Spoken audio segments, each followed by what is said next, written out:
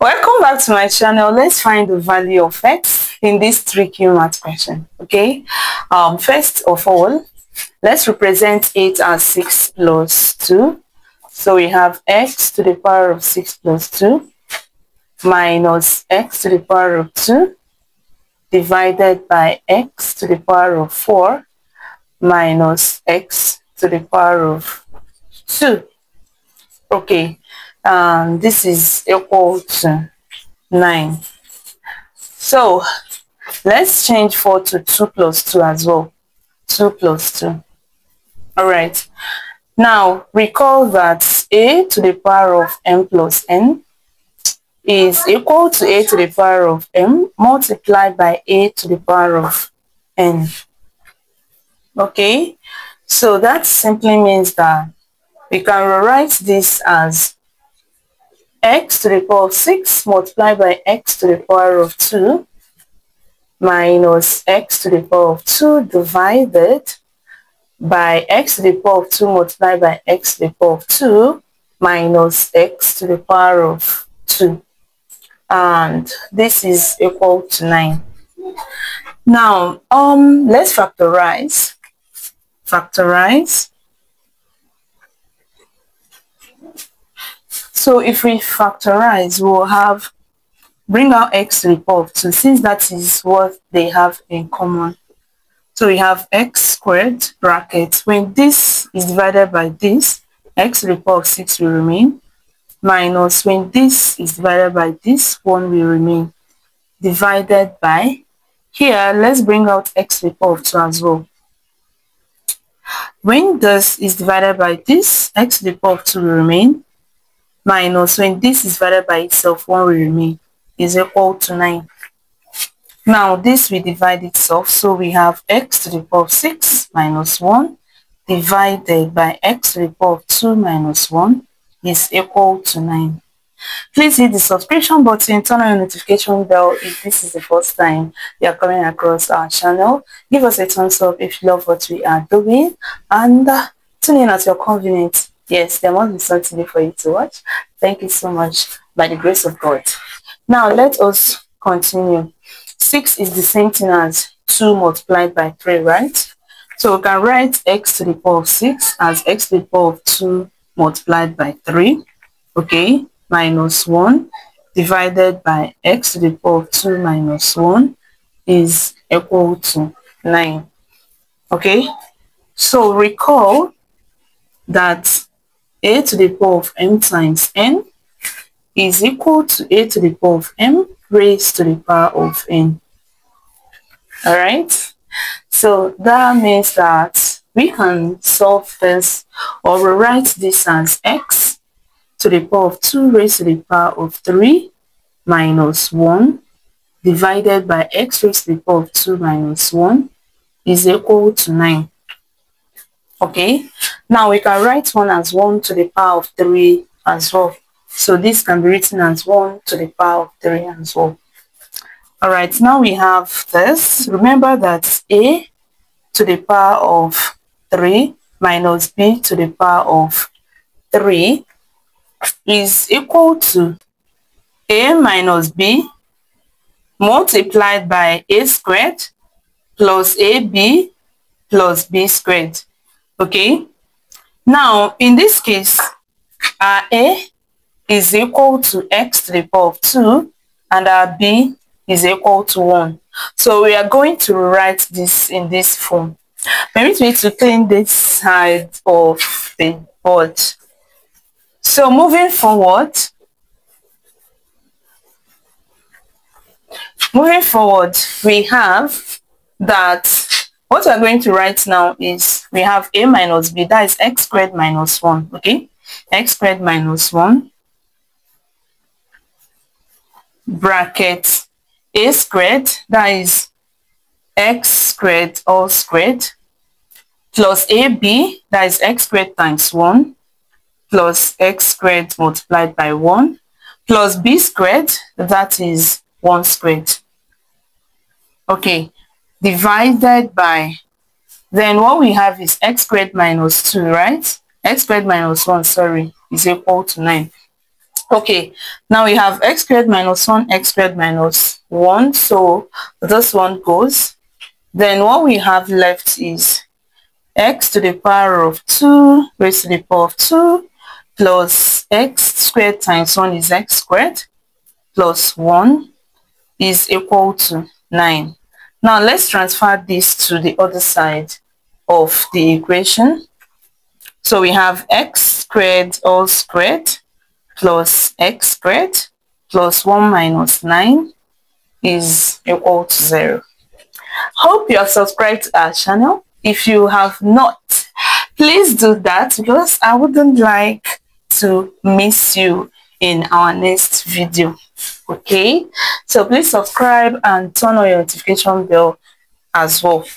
Now we are going to have x squared all squared plus x squared plus 1 minus 9 is minus 8, right? Minus 8 um, is equal to 0.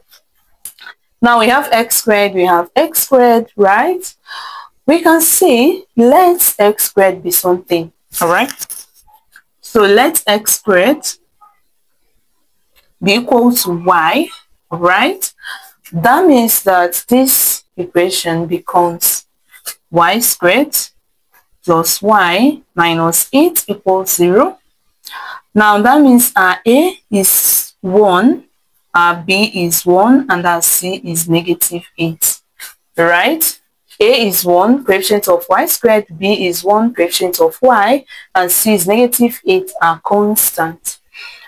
So using quadratic equation formula, we will have that y will be equal to minus b plus or minus square root of b squared minus 4ac everything divided by 2a so we'll have y is equal to minus 1 plus or minus the square root of 1 squared minus 4 multiplied by 1 multiplied by negative 8.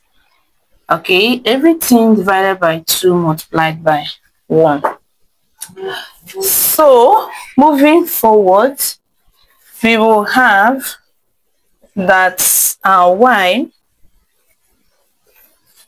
Moving forward, we'll have that y is equal to minus 1 plus or minus square root of 1 minus minus is plus and 4 times 8 is 32 okay? Divided by 2 so we have y is equal to negative 1 plus or minus square root of 33 divided by 2 so this simply means that we have two values for our y okay? So we have two values for our y so the two values are, so it simply means that y is equal to negative 1 plus root 33 divided by 2, which can be written as root 33 minus 1 divided by 2. And we also have that y is equal to negative 1 minus root 33. So minus 1 minus root 33 divided by 2. Okay. Now, but we're not looking for the value of y. Remember, we are looking for the value of x. Let me fill ink. So we have, remember, recall that y is equal to x squared, right? I'm sorry I've claimed that, but that is what we referred or we assigned y to. y equals x squared. So that means we can write this as x squared is equal to the square root of 33 minus 1 divided by 2. So let's take square root of both sides. So this means that square root of x squared equals the square root of root 33 minus 1 divided by 2. So I will write this here. y equals minus 1 minus root 33 divided by 2. I'll come back to that. So for now, let's use that place to complete this one. So when you remove this, we now have that x is equal to plus or minus square root of root 33 minus 1 divided by 2. Now this is the first set of equation, the first set of solutions for our x, all right? Now, when y, permit me to clean this. Now, when y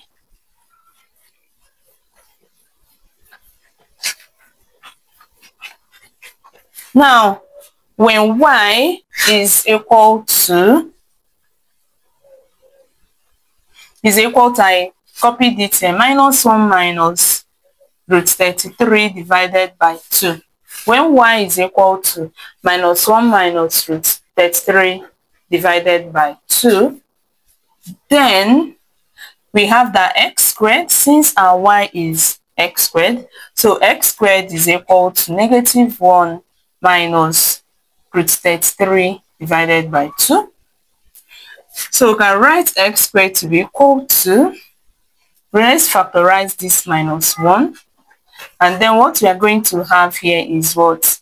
1 minus, okay, plus root 33 divided by 2. Okay? If you open brackets, you're still going to get the same thing. So we can write that x squared is equal to minus 1 bracket root 33 plus 1 divided by 2. Now, let's take square root of both sides. If we do that, we have square root of x squared is equal to the square root of negative 1 bracket, negative 1 bracket root 33 plus 1, okay, divided by 2. All right. Now, moving forward, I don't know why this ink dries up fast. So moving forward, we can rewrite this as square roots. Okay, let's remove this and this. We have we have x is equal to then this will be square root of negative 1. Let's bring it out. Square root of negative 1. Then square root of is going to be plus or minus, right? It's going to be plus or minus. All right. Then we have root 33 minus 1, okay, plus 1 divided by 2. So with that, we will have that our x is equal to root negative 1 is i, right? So let's leave it at the back. Let's uh, take plus this. So we have plus the square root of root 33 plus 1 divided by 2. Then square root of negative 1 is i. And x is also equal to the negative of the square root of root 33 plus 1 divided by 2i.